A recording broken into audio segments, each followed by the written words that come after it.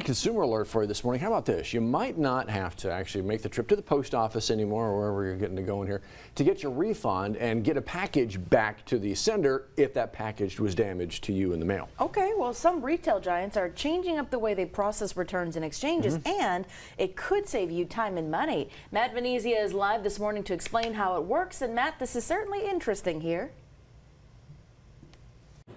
Yeah, it is a little interesting. So there is a scenario, some situations where if you receive a damaged item, maybe you can tell it's been partially used to some extent.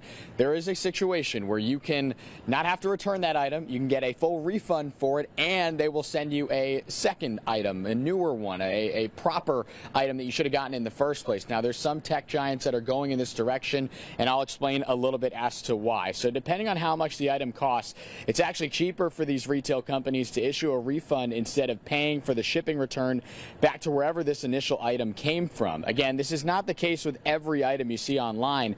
And before the idea pops into your head of this being a possible flipping strategy for profit, companies are now using AI to verify how legit the claims of these damages are.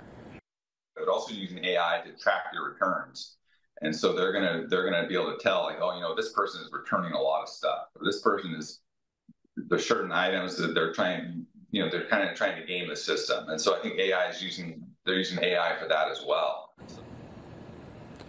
And again, it seems like AI is just being used, you know, in everything nowadays, right? In 2024, this is, just seems to be the common theme. So, not a surprise. These companies are verifying, they're, you know, they're crossing their T's and dotting their I's with AI in this situation here as well. So, definitely something to monitor as we keep moving forward. Guys, with that, we'll send it back to you.